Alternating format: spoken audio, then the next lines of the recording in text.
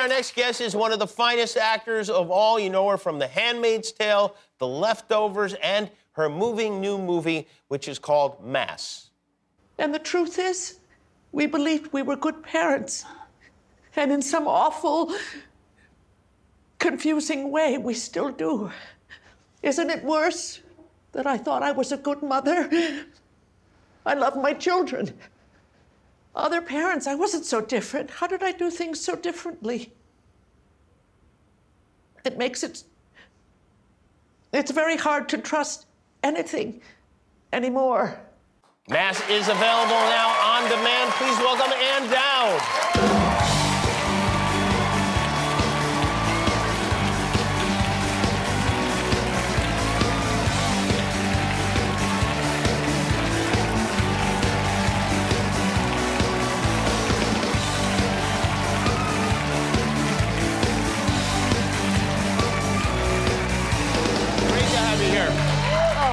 Boy, I am such a big fan of yours. I've told you this before, and I'll tell you something. Well, I want to thank you also for doing our Norman Lear specials. Last month, we did live in front of a studio audience, different strokes, and facts of life, and you were really the MVP because you played a role in both shows, Mrs. Garrett, and you were so oh, great. So great. And I know it embarrasses you, No, but no, no, you it's very were lovely. great. You were absolutely. um, do you ever look at like the reviews for this sort of thing? No, no, goodness. Okay, let me read you one. Oh, God. Variety said the real MVP of the evening has to be Ann Dowd, who played Mrs. Edna Garrett in both Facts and Strokes, an almost perfect channeling of Charlotte Rae's vocal inflections. Dowd nails it. Close your eyes, you'll swear you're watching the original series whenever Dowd opens her, her mouth. And oh, that's. My goodness.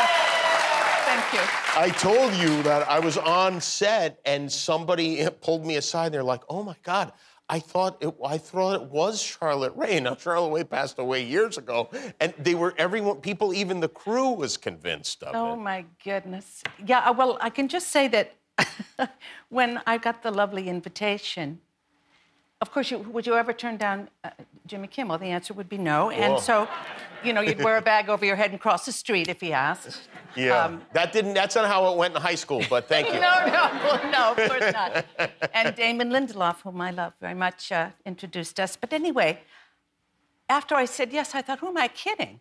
I, I'm not I'm out of my league for sure. Oh. No, I couldn't be more serious. Uh-huh. I, I looked at the cast and said that there's a mistake has been made here. Uh, and so I, every time I tried to look at the script, I literally pushed it aside. I thought, no, no, I can't. I, I, I'm going to have to make a call. And then finally, I thought, you know, honey, you're a grown up. So what we do when we're grown ups is we do the work in front of us. So then I read the script and got. It's funny that that was your reaction because my initial thought was, yes, you would be great, but I was nervous to ask you because I thought you might think it was frivolous or beneath you to play a role like that. And also working with Snoop Dogg. Had you worked with Snoop before? Okay, guys, am I? I- Do I look there? I don't know where to look because they're so lovely. Um, I just Anyway. want. Hi. Okay, this is what I want to tell you. So I sit down for the reading, thinking, don't pass out, just sit. It's not that hard. To my right is Snoop Dogg. To my left is Damon Wayans, and then there's Kevin Hart and Lithgow.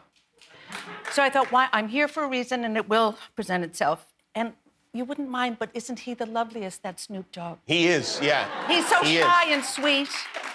And, and, and he's a fine actor and humble, and they all are. Yeah. And they were all so astonishing, and the other cast. Yeah. And I remember doing it and thinking, and, and sweet Jimmy Burrows saying, Okay, I want you between the two, Annie. I said, Oh, sure, sure. I'm thinking, But I am.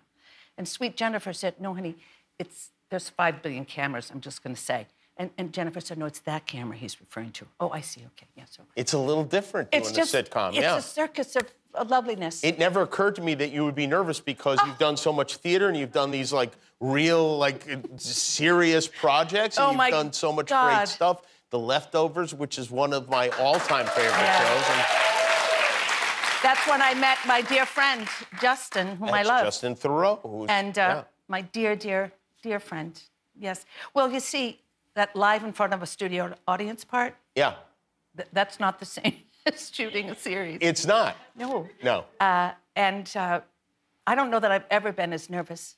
you were fantastic. Just play Anyway. that clip. There's a guy Oh. on Twitter who put together a little like mashup. Uh, the guy's name is uh, Jarrett Says. Uh, show that uh, for the audience. It was so fun. You got a full meal in there?